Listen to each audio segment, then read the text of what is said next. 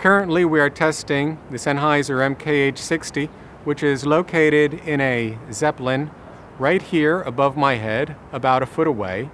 We are now still using the Sennheiser MKH60, only now we've engaged the low roll-off filter. This is a Sennheiser MKH60, and we have the low roll-off filter engaged only. This is the Sennheiser MKH50.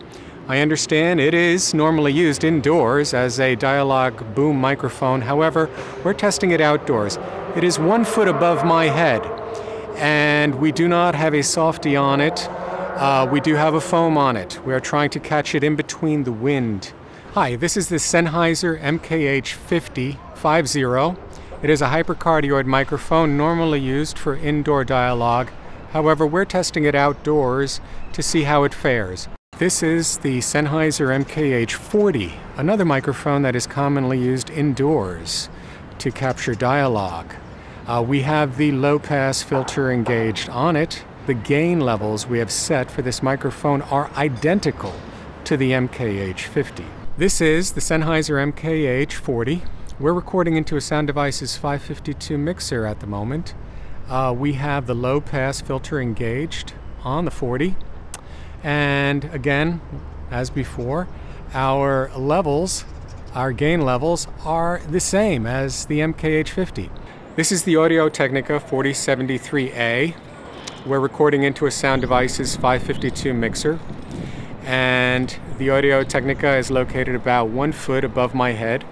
We're using a Rycote Softy.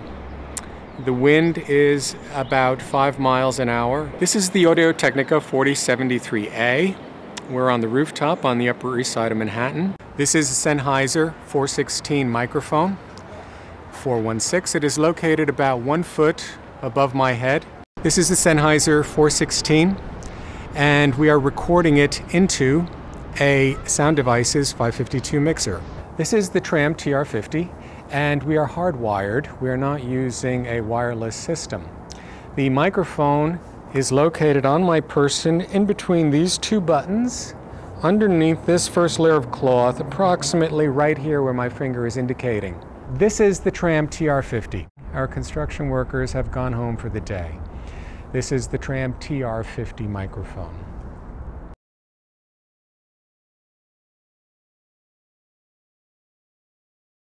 Currently we are testing the Sennheiser MKH60 we are now still using the Sennheiser MKH60.